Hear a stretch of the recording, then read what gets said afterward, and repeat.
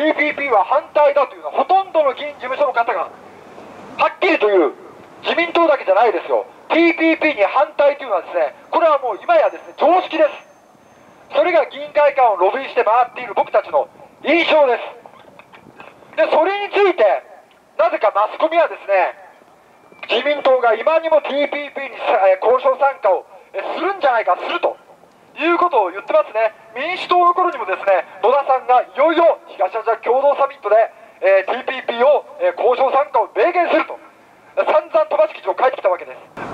まあもちろん、まあ、安倍安倍さんに対してもですねいろんな意見があるわけですけどね。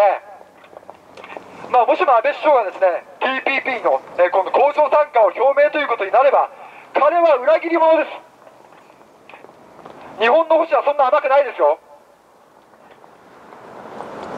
彼は一気にですね支持を失うんです。自民党もそうです。次の参議院でもですね日中もさっちもいかなくなるはず。なので交渉参加をしたくてもできないはず。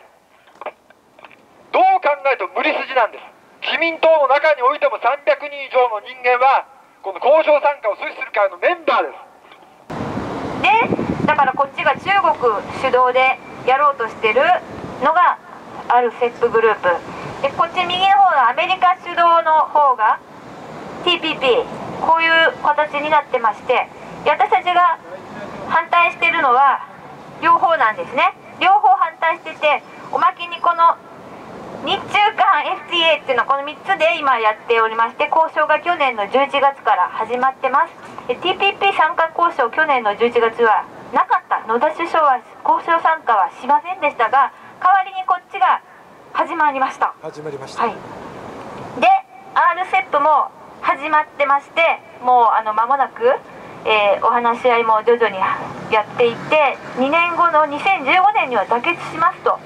えーと、外務省の、ね、ホームページにはっきりと書いて2015年の妥結が目標です、はい、あと2年しかないんです。で TPP はまだ始まってないけどもこっちはもう始まっておりましてで、えー、私たちの生活に全般に関わってくる枠組みを全て、まあ、変えこっちはアメリカ流に変えようとしてますけど同じことをこっちでもやろうとどうやらしているんですね。で、えー、っとロリー・ワラック女子は言いましたね。TPP はドラキュラのようなものだと。でそこであの民主党の上院議員、えっと、オバマさんの命令で TPP の担当にしろっていうふうに出たロン・ワイデン上院議員という人がいます。ところがこの人 TPP の中身にアクセスすることができなかったんです。全部企業の代表たちが、え、っと好き勝手にアクセスして中身を変えて交渉に干渉できる、えー、国会議員ですらも、えー、国すらも、えーと、中身を見ることができない、仮に見ることができても時間が決められている、場所が決められている、コピー、メモなどを取ることが禁止されている、そういったことが、えーと、まかり通っております。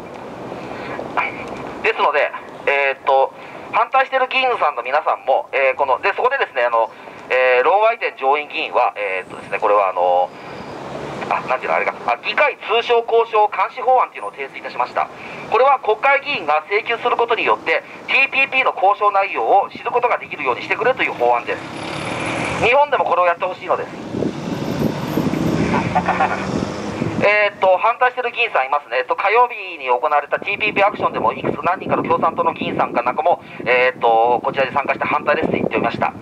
えー、っと、あとはもう自民党にもいっぱい TPP 反対だってことを強く訴えてる人もいます。でしたら、動動いてください。反対反対言ってるだけじゃ話始まりません。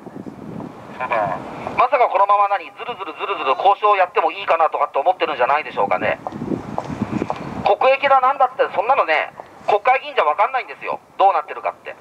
何が国益なんでしょうか。それを判断することは国会議員にはできません。中身が分からないからです。そもそも何ですか、えー、っと、TPP はいいとか言ってる人たちもいますけれども、国会議員さんでもね、中身を知らないのにそんなことが分かるっていうのは僕はすごいなと思いますよ。もはやグローバリズムに対する信仰以外の何者でもありませんね。